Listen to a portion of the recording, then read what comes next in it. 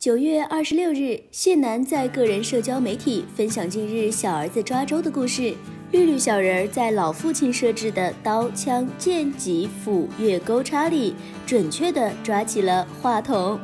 无所谓，脑子快，一看爸爸没面儿，马上捡起刀。爸爸，我抓这个。